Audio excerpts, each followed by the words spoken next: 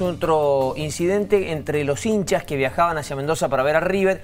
Lo digo esto porque tuvimos, cuando vino Boca, ¿Se acuerdan? Las Exactamente, en la ruta fue por la ruta 7. En este caso nos vamos hacia el norte. En la ruta Otra 40, zona de ingreso a la provincia y lamentablemente otra víctima fatal. En el departamento de La Valle, en donde una mujer perdió la vida, una mujer de 56 años. Lamentablemente ahí estamos viendo imágenes de eh, lo que fue este accidente.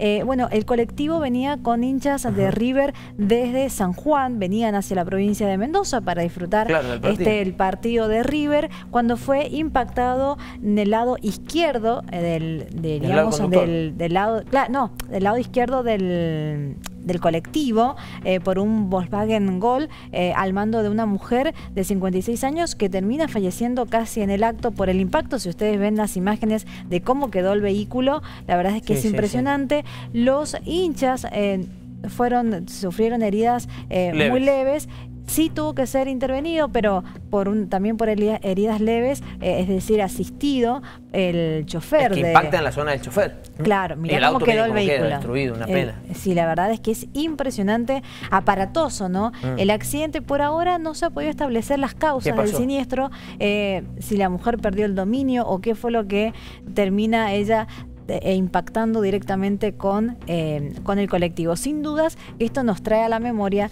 lo que bien decías vos en la introducción, eh, este accidente que también se cobró con la vida de un hincha de Boca. A diferencia entre uno y otro es que en ese momento falleció una chica que venía dentro del colectivo y en este caso quien fallece es la conductora del vehículo que impacta al colectivo que trasladaba a los hinchas de River, ¿no? Exactamente.